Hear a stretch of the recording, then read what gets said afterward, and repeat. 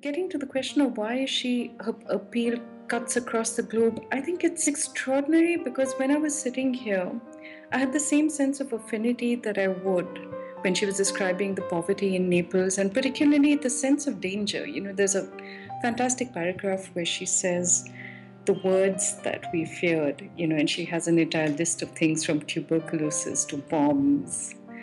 And you recognize that wherever you are in the world, if you've been in a part of the world that's even been remotely unsettled, you say, yes, that's familiar. That could be coming out of the chawls of Bombay or the slums of Delhi, or it could be coming out of, you know, any part of the world that's gone through the least bit of shake-up. And at the same time, it's Italy. In my case, Italy was a place that I associated with museums and fine art and Florence, and here was this completely different side to it.